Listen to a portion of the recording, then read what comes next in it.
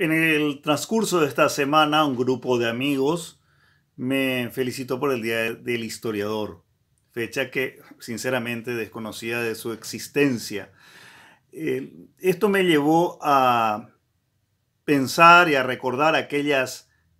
dos personas que en nuestra civilización están registradas como las primeras que usaron la palabra historia y a pensar seriamente para qué sirve la historia o para qué estas personas nos enseñaron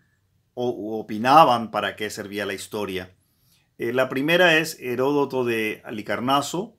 el considerado padre de la historia, que en algún momento de su vida se le ocurrió hacer algo que hoy consideraríamos turismo cultural, fue a visitar Egipto y las civilizaciones del Mediterráneo y registró lo que le contaron y sus experiencias en esta, en esta vuelta que dio alrededor de, de su mundo conocido. Y él va a iniciar el registro de su viaje con eh, la frase, estas son las historias de Heródoto de Alicarnaso. Y tenemos que recordar que historión, la palabra historia en griego antiguo es investigación. No hay una relación entre relatar los hechos que son la verdad como hoy queremos un poco entender eso. Es más, en el primer libro ya él va a tomar una actitud bastante desconcertante para nosotros, donde él habla de cómo le relataron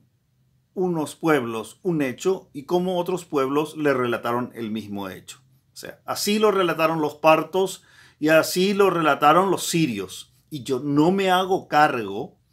de cuál podría haber sido la verdad. Entonces es la investigación de un hombre y nos da Heródoto una razón por la cual él escribía esto y decía que era importante recordar los grandes hechos y a los grandes hombres de la historia. Pese que cuando uno lee los nueve libros de la historia hay cosas que pues no son tan grandes y, son realmente más eh, algo que entraría en el campo del, chisme más o menos pero sí es la primera persona que utiliza eh, la palabra historia y que nos da una razón por la cual es importante registrarla. Otro personaje de la época que va a usar la palabra historia en un registro, pero en una situación mucho menos divertida que la de Heródoto, va a ser Tucídides. Tucídides va a registrarlo básicamente desde el campo de batalla iba a escribir un libro que se, al que se le va a llamar Las guerras del Peloponeso.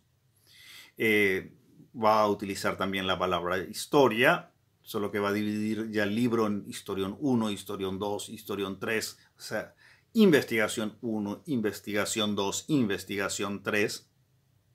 y va a dar otro motivo por el cual es importante el estudio de la historia. Y él decía que las grandes metidas de pata, por decirlo así en un lenguaje más actual, de los hombres deberían quedar registrados. Porque aquellas personas que no saben de los tejes y manejes de que, ocurrió, que ocurrieron en alguna época, tienden o pueden, sin querer, volver a caer en los mismos errores. Eh, nosotros tenemos hoy una gran experiencia, hasta los chicos, los adolescentes, de cómo vivir y conocer situaciones que no nos han pasado. Eh, por medio de las películas, por medio de la, de la, literatura, por medio de las series eh, televisivas, vivimos emociones, amores, traiciones que no nos han pasado a nosotros, pero sabemos un poco cómo reaccionar por medio de esa experiencia ajena. Ustedes se imaginan la inocencia, en el peor sentido de la palabra, de una persona que nunca leyó un libro, que nunca vio una película, que nunca escuchó una historia ajena. Entonces va a ser una persona con realmente muchísimas limitaciones. Eso y eso ya nos enseñaba Tucídides, es lo que pasa con un pueblo que no conoce cómo se desarrollaron los hechos y especialmente él ponía una especie de, eh, de, enfoque a aquellos hechos que no fueron muy positivos, como diríamos hoy, aquellos hechos que fueron metidas de pata. Con el paso del tiempo van a aparecer otros personajes que escriben historia eh, y tal vez sin proponérselo. Un personaje interesantísimo que eh, aparece allá por el año 1300 al norte de Italia es Dino Compagni, que va a ser un comerciante que cuando eh, se da cuenta de que en su ciudad sucedían muchas cosas, eh, negocios turbios, por decirlo así, y nadie estaba escribiendo, dice él, voy a escribirlo yo. Yo no, no me animaría a escribirlo, pero me estoy dando cuenta que nadie lo escribe, así que para que estas cosas no pierdan su registro, las voy a hacer yo. Y son unos, unos registros que los voy a llamar así sencillamente crónicas y que eh, son maravillosas porque nos permiten prácticamente viajar en el tiempo y aprender muchísimo, muchísimo de lo que es la política de esa época que no difiere, les aseguro, en nada de lo que eh, hoy es, eh, no, nos espanta a veces de, esas teorías más, vamos a decir, retorcidas sobre las explicaciones de los hechos de actualidad. Ya en el siglo XX van a aparecer también otras formas y otros enfoques de la historia. Uno último que me permito recordar es la de Max Planck, que va a ser un judío eh, de origen francés, o sea, un francés de origen judío, que va a dar un nuevo enfoque a la historia. Tiene una historia riquísima, podríamos hablar más de él, eh, pero que eh, básicamente empieza a dar importancia más que a los grandes hombres, a los grandes, a los grandes eventos, a las pequeñas cosas que hacen a la vida cotidiana. Y él decía, por ejemplo, de lo importante que era la historia de la mermelada para los franceses, un dulce que lo comían todos, que comían, que les hacían sus abuelas, pero que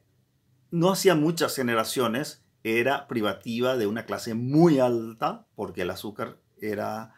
eh, un alimento que solo llegaba a la mesa de los ricos, como esa revolución y ese cambio de los hábitos alimenticios en su historia nos puede revelar muchísimos secretos de los países y de las culturas eh, que nos puedan interesar. Hoy día tenemos como una especie, eh, una idea falsa de lo que es la historia, porque em, queremos como que decir que la, nuestra versión de la historia es la versión verdadera. Yo he escuchado a varios em, colegas, personas con cierta formación que dicen, por ejemplo, que alguien miente al relatar un, hecho histórico. Y eh, para terminar, por eso querría eh, recordar dos cosas que los griegos lo sabían perfectamente, pero que vienen a ser verbalizados ya en, siglo, el siglo XX, al final del siglo XIX, principios del siglo XX, eh, por gente como este, eh, Friedrich Nietzsche y por otros filósofos como